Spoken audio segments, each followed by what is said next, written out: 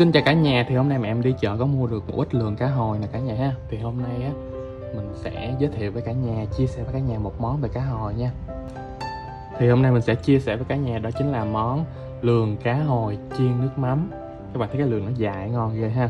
Nguyên liệu để chuẩn bị cho món này thì mình sẽ nói trên màn hình nè để cả nhà dễ theo dõi nha.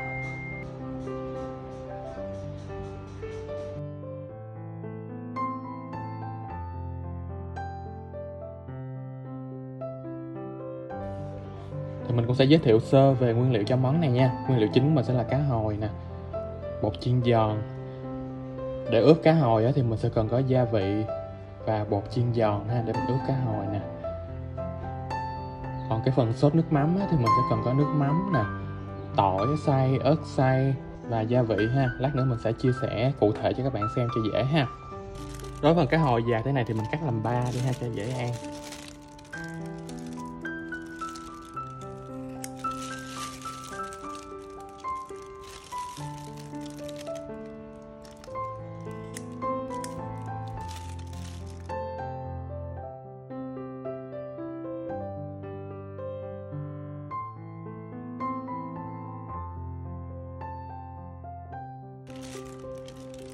Thấy không? Phần thịt nó ngon ha.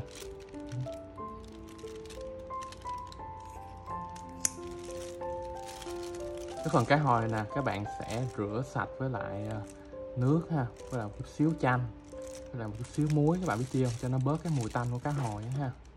Cá hồi mình cắt xong rồi cả nhà bây giờ mình sẽ rửa nha. Mình sẽ cho vô thêm nước một chút muối. Mình nặn thêm miếng chanh. Ít thôi các bạn biết sao mình rửa vậy cái hồi không có bị tanh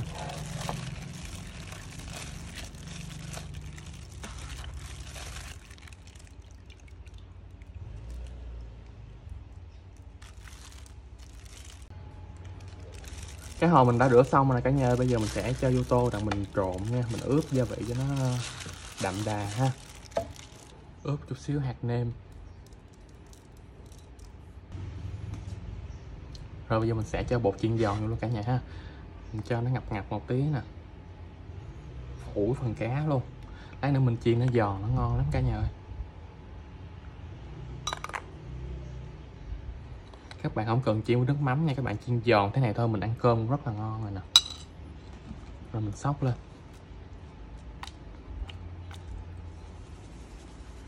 Trong khi chờ đợi phần cá hòm nó thấm gia vị ha, thì mình sẽ sơ chế luôn cái phần rau củ ha ở đây thì mình sẽ chiên nước mắm chung với lại một chút xíu củ hành ớt sừng ha ớt sừng đỏ cho nó có màu cho nó đẹp và à, vài cọng hành ha. Phần củ hành thì các bạn sẽ cắt muối cao nha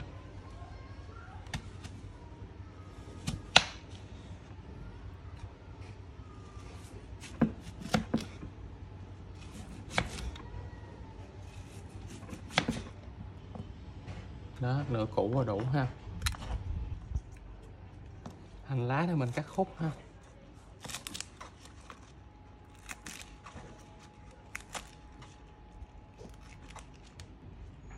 Ớt thì các bạn sẽ ờ, cắt đôi ra bỏ hột ha.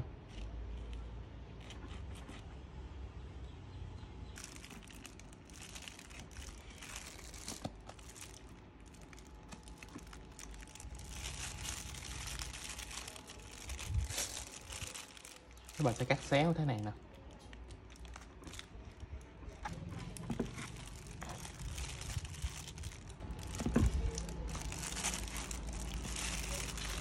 Rồi, mình đã chuẩn bị xong phần ờ, hành và ớt để mình xào ha.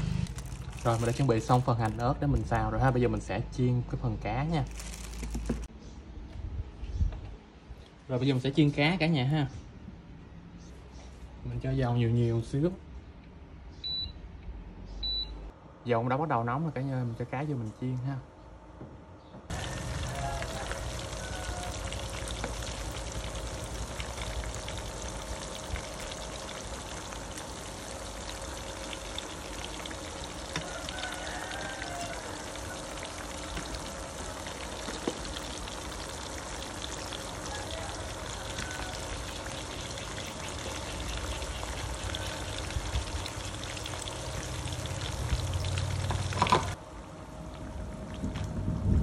rồi cho đầu mưa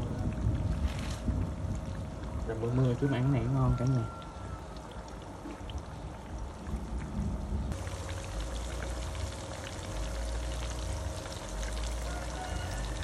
Thơm ghê cả nhà. Cá nó sang lại nè ha. Bà phải chiên cho cá nó vàng luôn nha. Nó giòn, nó vàng. Một cái hồi nó thơm quá.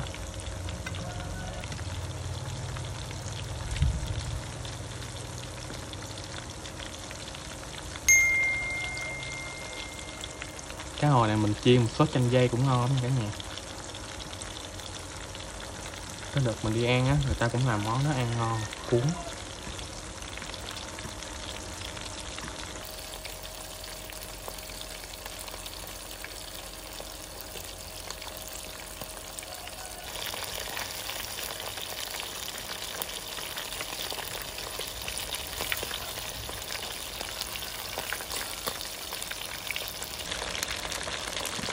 Cả ơi cái cá mình nó vàng rồi nè ha. Mình trở trở thôi, nhăm nhăm rồi mình bắt ra luôn.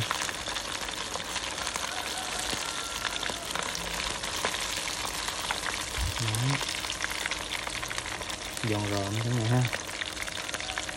Mình chuẩn bị cái thấm dầu nè, mình bắt ra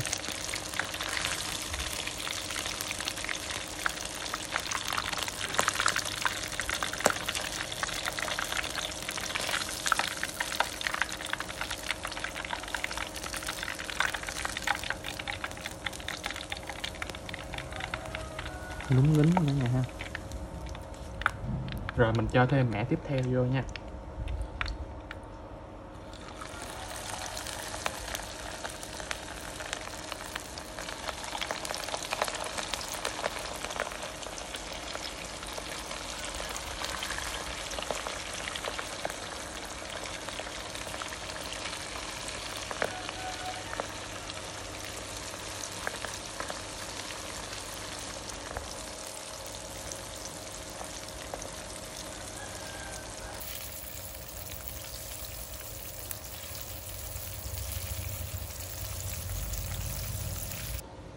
Rồi bữa tiếp theo mình sẽ chuẩn bị một cái chảo nóng này cả nhà ha.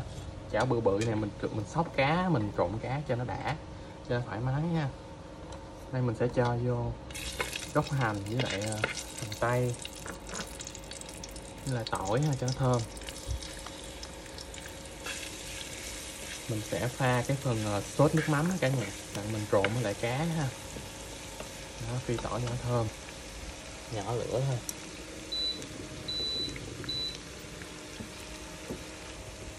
Mình sẽ cho khoảng một muỗng đường ha. Một muỗng đường nè. Hai muỗng nước nè.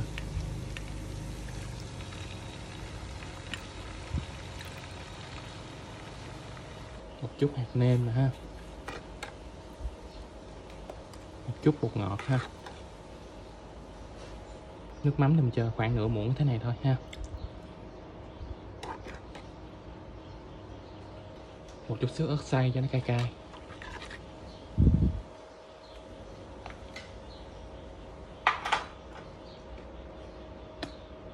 Tương cà tương cà các bạn cho khoảng nửa muỗng ha với lại tương ớt. Mình cho khoảng nửa muỗng là nó lấy màu quá cả nhà. Các bạn dùng muỗng nào thì các bạn đông vào muỗng đó luôn nha. Đó, mình quậy đều lên.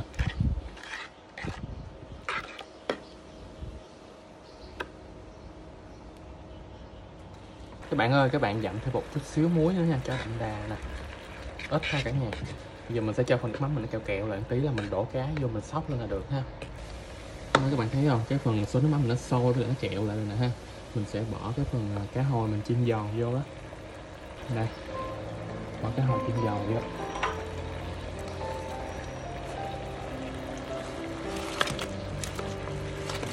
Các bạn nghe tiếng giòn thì mình rộn luôn cái này. Mình sẽ sóc lên nha.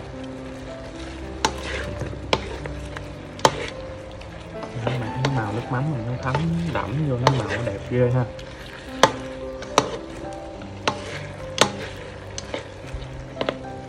Phần cá mình như thế này đã hoàn thành rồi nè cả nhà ơi. Cá nó giòn thấm đậm nước mắm ngon lắm. Bây giờ mình sẽ cho cái phần ờ, củ hành tây, hành lá với lại ớt vô ha, cho nó có màu sắc, nó đẹp.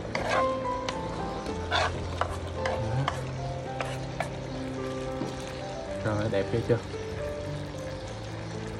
Nhìn mà thèm cả nhà ơi. Sau khi mình cho vào hành lá của hành tây với ớt thì mình sóc lên nữa là mình tắt bếp là xong cả nhà ơi. Ngon ngay trên nước mắm nó kẹo nó thấm đẫm rồi cá hồi ngon lắm. Rồi. Đó. Mình vừa mới chia sẻ với cả nhà xong cách làm món lườn cá hồi sốt nước mắm ha. À, chúc bạn cũng sẽ thành công với món này nha. Đừng quên cho mình một like một subscribe để ủng hộ kênh của mình các bạn nha. Đang kinh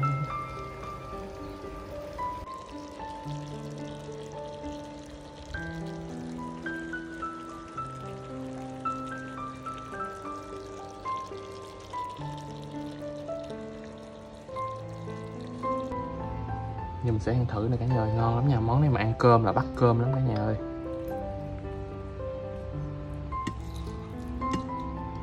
Ừ.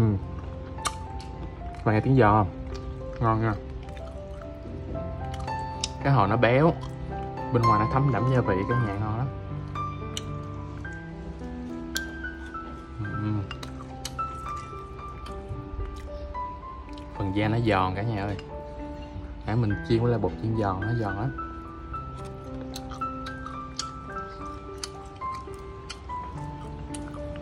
Này các bạn ăn chơi nó cũng ngon nữa nha. Cái phần cá hồi nó thấm đậm sốt nước mắm ngon cả nhà. Chua chua ngọt ngọt ha. Ừ, ngon quá. Phần thịt cá hồi nó béo ngon ghê luôn cả nhà ơi